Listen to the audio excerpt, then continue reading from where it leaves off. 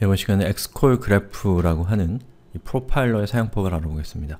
자, XCallGraph는 Xdebug를 통해서 만들어진 프로파일링 데이터를 이용해서 이 PHP 애플리케이션을 분석해주는 도구인데요. 자, open source면서 무료로 사용할 수 있고 또 Windows와 Linux에서 사용할 수 있는 그런 프로그램입니다.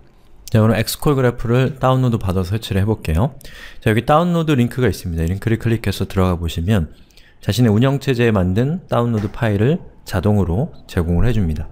저 같은 경우는 현재 윈도우에서 이 XCallGraph를 실행할 것이기 때문에 윈도우 버전의 파일을 다운로드 하겠죠. 자, 그럼 링크를 클릭해서 다운로드를 받으시면 되고요. 다운로드 받은 다음에 압축을 풀면 저처럼 이렇게 요 실행 파일이 보일 겁니다. 저는 윈도우를 사용하고 있, 기 때문에 exe 확장자를 가진 파일이죠. 자, 이걸 더블 클릭하면 XCallGraph가 실행이 됩니다.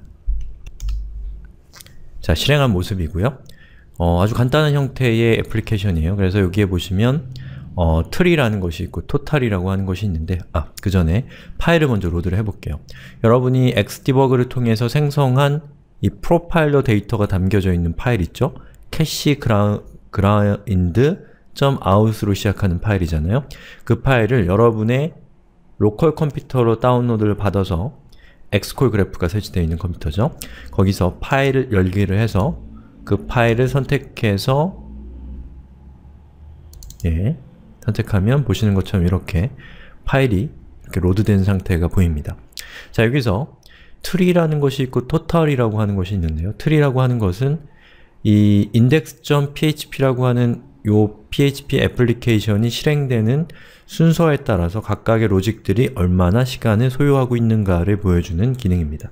자, 클릭해보면 보시는 것처럼 이 index.php라고 하는 저 애플리케이션은 제일 먼저 define을 하나 보네요. 그리고 defined라고 하는 함수를 호출했고 뭐 error reporting이라는 걸 호출하고 쭉쭉쭉 내려가는 거죠. 그리고 각각의 이 함수들이 얼만큼의 시간을 소요했는가 라고 하는 것이 여기에 나오는 겁니다. 자 여기 보시면 여기 cumulative라고 되어 있는 거 보이시죠? 그리고 self가 있는데요. cumulative는 영어로는 누적되다 라는 뜻이고 self는 자기 자신이잖아요. 그래서 index.php라고 하는 이 파일에 cumulative, 즉 누적, 누적된 이 index.php 안에 있는 다른 로직들이 사용한, 소요한 시간을 다 합치면 예, 요렇게 된다라는 거죠. 그리고 100%가 된다는 겁니다. 당연하죠. 우리가 지금 프로파일링 하고 있는 이 애플리케이션은 index.php이기 때문에 그리고 self는 요 index.php만이 사용한 시간, 즉 여기 있는 요 각각의 로직들이 사용한 시간들을 제외한 나머지 시간인데 0.45%라고 되어 있죠. 아주 극명한 대비를 보이는 거죠. 만약 여러분이 index.php라고 하는 저 파일 안에서 어떤 펑션이나 메소드나 클래스와 같은 것들을 사용하지 않고 이 절차적으로 쭉 실행되는 애플리케이션을 만들었다고 한다면 예, 시간이 셀프의 시간이 훨씬 더 많아지겠죠. 자 그렇게 쭉 내려가다가 여기 보시면 inc라고 적혀있는 부분이 보입니다. 자 inc라고 하는 아이콘이 있는 것은 무엇이냐면 이것은 어떤 파일을 include 했다는 뜻입니다. 즉 codeigniter.php라고 하는 파일을 이 지점에서 include 했다라는 뜻이에요. 그러니까 codeigniter.php는 전체 실행 시간의 99.35%를 차지했고 본인은 0.50%를 차지했네요. 자, 이거를 클릭해 볼게요. 그럼 codeigniter 안으로 들어가서 그 안에서 실행되는 여러가지 로직들이 나오고 include도 나오고 이렇게 되어 있는 것도 나옵니다. 자, 이렇게 생긴 아이콘은 네이티브한 API라는 뜻입니다. 즉, PHP가 제공하는 것이라는 뜻이고요. 그렇지 않은 나머지 것들은 사용자가 정의한 이 애플리케이션이라는 뜻인 거죠. 이렇게 쭉 로직의 흐름을 따라가면서 각각의 로직들이 어떻게 반응하는가, 얼만큼 빠르게 동작하는가를 체크하면서 여기 있는 요 수치가 높은 부분을 중심으로 해서 찾아 나가시면 이 시스템의 병목 지점을 찾아볼 수가 있는 거죠. 자, 토탈로 가보시면 이 트리와는 다르게 트리라고 하는 것은 이 애플리케이션이 실행되는 절차에 따른 이 각각의 로직들을 순서대로 배열한 것이고요. 토털은 이 index.php라고 하는 애플리케이션 전체에서 사용되고 있는 여러가지 API들을 그 각각의 소요시간이나 이런 것들에 대한 랭킹에 따라서 이렇게 분류한 겁니다. 자, 그래서 예를 들면 여기서 제일 주목할 만한 데이터는 이 self total이라고 하는 걸 일단 볼 수가 있겠죠.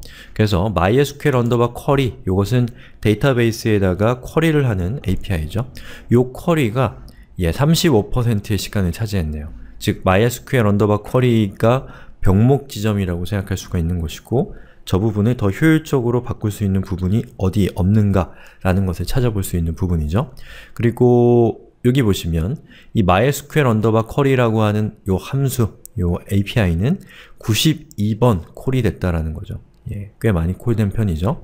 그래서 각 요 mysql underbar query 자체는 보통 72 마이크로 세컨즈의 시간을 소유하는데 그것이 예, 92번 실행됐기 때문에 요만큼의 시간을 차지하고 있다. 뭐 이렇게 보시면 되겠죠. 아, 제가 조금 착각했네요. 자, self min은 요 MySQL query를 실행했을 때 가장 빨리 실행된 게 77이라는 뜻이고요. 그리고 가장 오래 걸린 것이 예, 요만큼 걸렸다라는 겁니다. 23만 예, microseconds죠. 그리고 self average는 보통 2771 microseconds가 실행이 됐다라는 뜻입니다. 예, 이런 정보를 통해서 어디서 병목이 발생했는지 이런 것들을 여러분들이 찾을 수가 있는 거죠.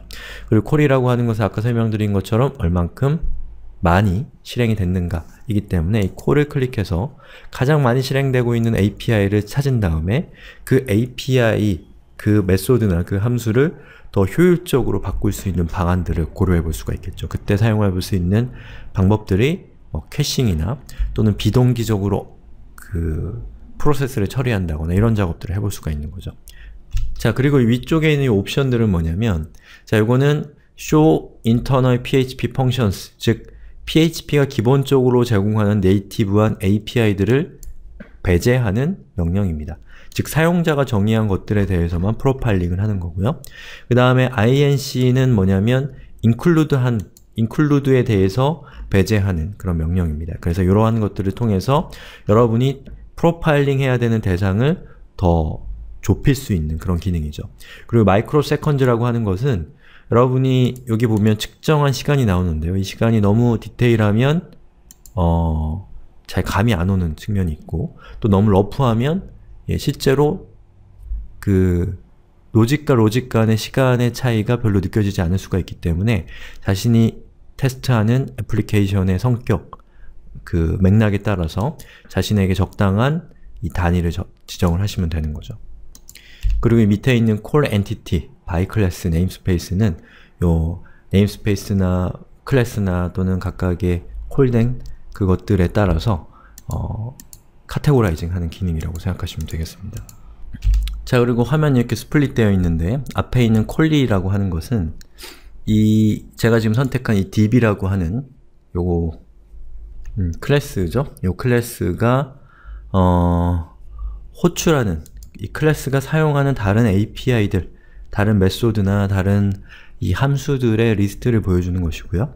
이 caller라고 하는 것은 이 db라고 하는 class를 사용하고 있는 예, 다른 class나 다른 함수들의 리스트를 이렇게 보여주는 거죠. 그래서 이런 여러가지 정보들을 이용해서 여러분이 이 애플리케이션의 성능에 어떤 문제가 있는지 이런 것들을 파악할 수 있도록 도와주는 도구가 XCallGraph입니다.